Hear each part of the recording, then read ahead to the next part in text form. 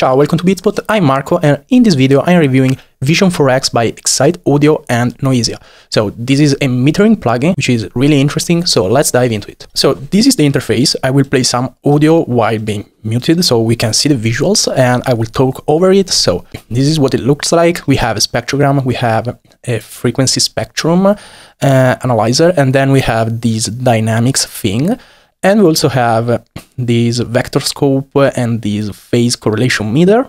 So what makes it like really interesting is that we have these four stuff, but we can focus on one only also like this by dragging and dropping the center of these four panels. And we can also like look at only two of them like these, like these, these, etc. And so it's really nice looking. It's kind of makes sense. You can focus on whatever you want. We also have this pointer here. So if you look at the bottom of the interface, we have the position, frequency, and volume parameter. If I move the cursor, the pointer in this module, here we have the frequency and the volume, and here we have the position and the volume. And then we also have this function, which kind of freezes everything. So if we want to look at some data, some insight of a specific point, we can. If we click again, it just uh, goes on. And then we have the settings. So the settings is what makes this plugin really versatile. So let's start with the general. We have the modes, stereo left, right, mid, side. We also have the rotate function and we have this trigger that I don't really get what is about and also the listen thing. Then we have a time overlay. So we have this fixed stuff and then it loops back and overlays or it just moves and follows the audio. Then we also have the sync. So it goes like this and we also have parameters to controls how fast it moves. So like vector we can go by 100 semitones and it goes super fast. We also have the multiplier so let's go 10 and these should be like one second. If we do like one and one here it's the same behavior so that's really nice. And we have the spectrum controls so we have the range so we can like zoom into and zoom out uh, certain ranges. We also have the B range. Then we have the color map. So we have uh, several of them. I personally like the Mako and the Rocket thing.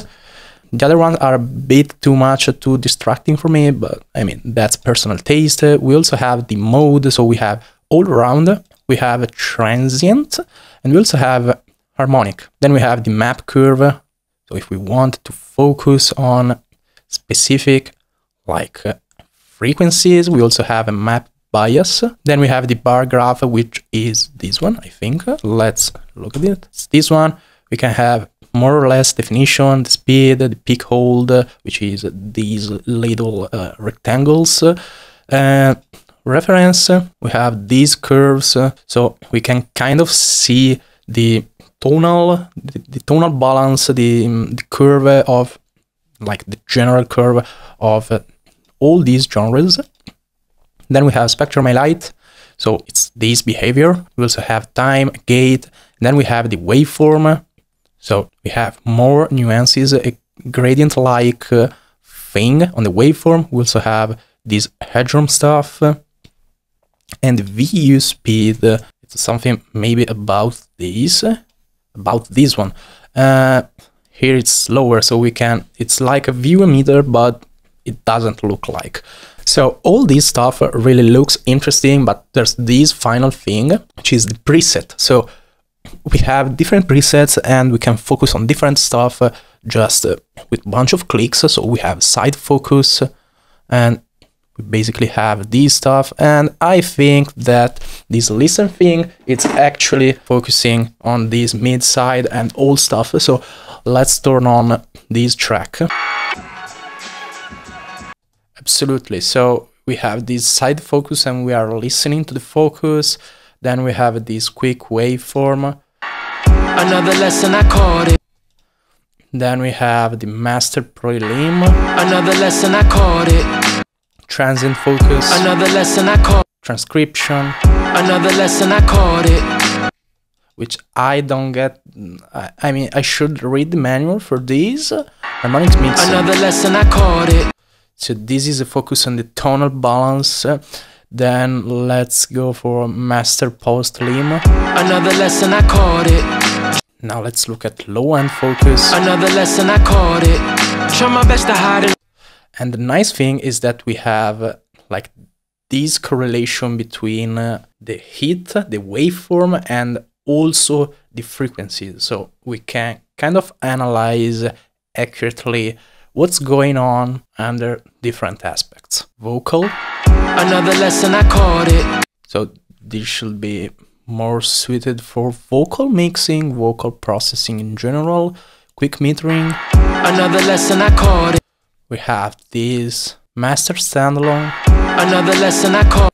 It's like this, and you can save your own presets. So that's like, what else can you ask for? And this metering plugin has so much stuff. I mean, it doesn't have everything I'm looking for. One thing it's missing, it's kind of a history panel, but there are other plugins for that. I hope they add it in a future update. I don't know if that makes sense because we already have four panels, so th these are more than enough in general for most tasks and most needs.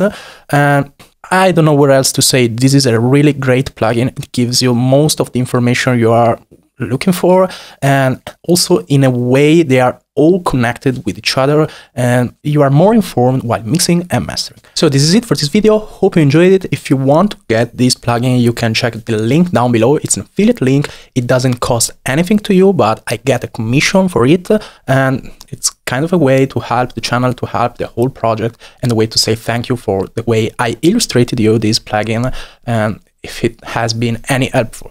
So this is it for this video. See you in the next one.